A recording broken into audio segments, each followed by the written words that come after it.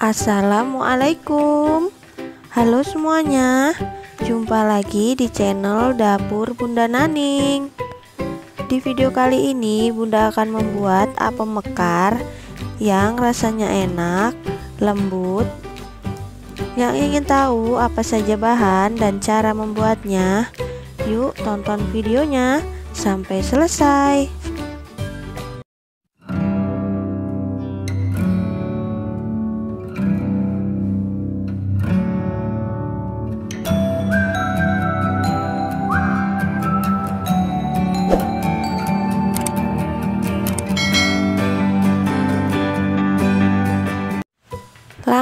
pertama, dalam wadah masukkan 200 gram tape singkong yang telah dibuang sumbunya. 1 gelas gula pasir.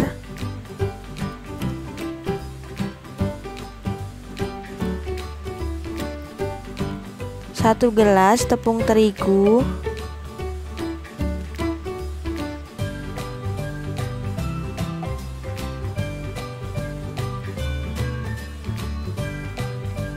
3 gelas tepung beras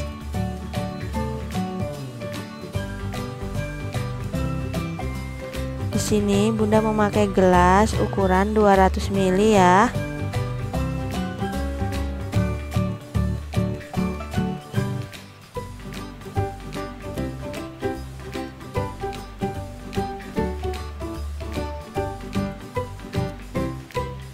Tambahkan juga 1 sendok makan ragi instan dan setengah sendok teh baking powder double acting.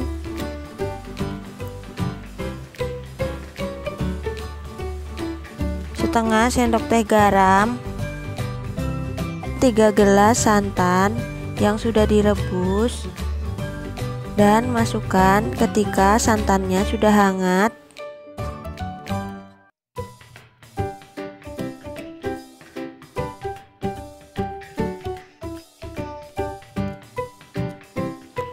Kemudian aduk-aduk hingga semuanya tercampur rata.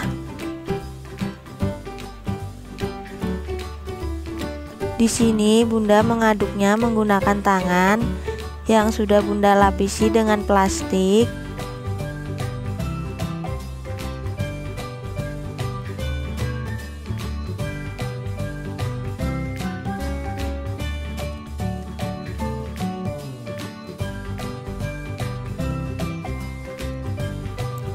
Setelah adonannya tercampur rata, siapkan wadah dan saringan. Saring adonan. Ini tujuannya agar sisa dari serat-serat tape singkongnya dapat terpisah dari adonan. Saring semua adonan hingga habis.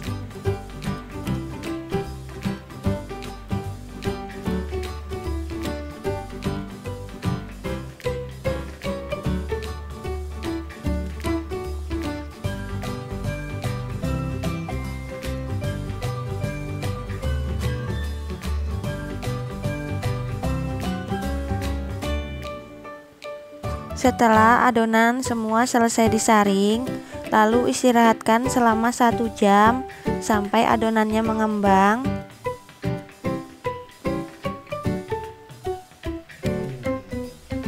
Setelah diistirahatkan selama satu jam, ini adonannya sudah mengembang ya. Lalu aduk-aduk, hilangkan gelembungnya.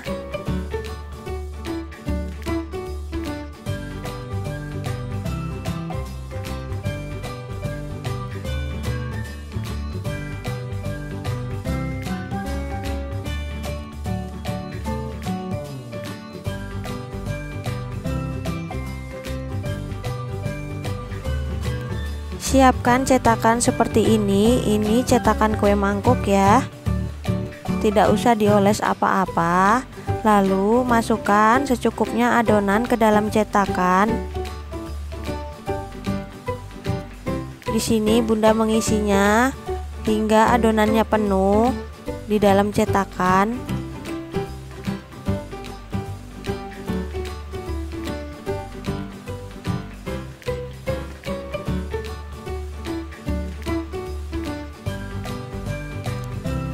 Ambil sebagian adonan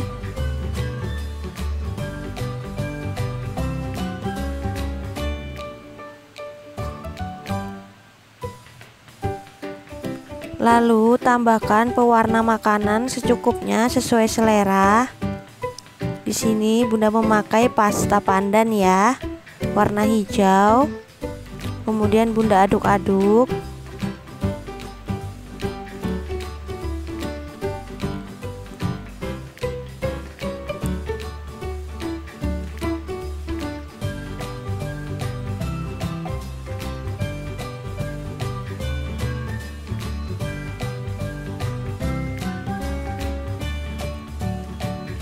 Setelah tercampur rata, masukkan ke dalam cetakan.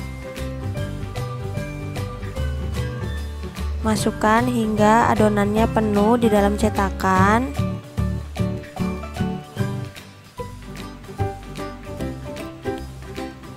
Di sini Bunda ambil lagi sebagian adonannya.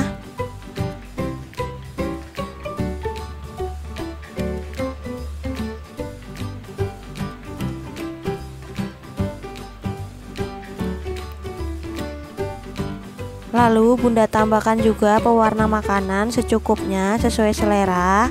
Di sini Bunda menambahkan warna merah muda. Lalu Bunda aduk-aduk hingga tercampur rata. Masukkan juga ke dalam cetakan hingga cetakannya penuh.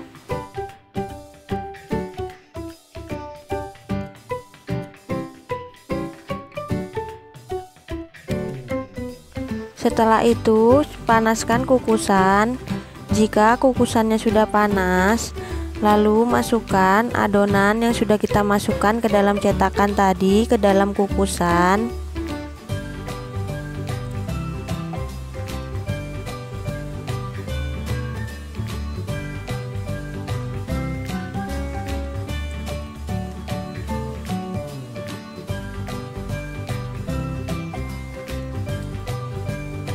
Kukus selama 20 menit menggunakan api sedang cenderung besar.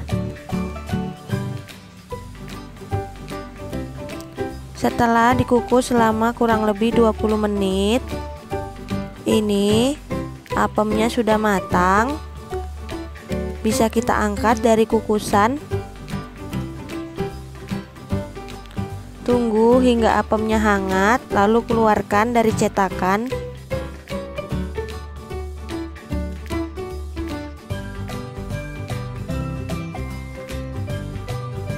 Nah, ini dia apem mekarnya sudah matang dan sudah Bunda keluarkan dari cetakan, siap untuk disajikan. Seperti ini penampilannya. Cantik ya warnanya. Dan atasnya itu merekah, mekar. Seperti ini. Kita lihat bagian dalamnya.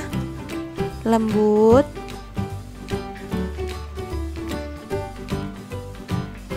dan mengembang sempurna.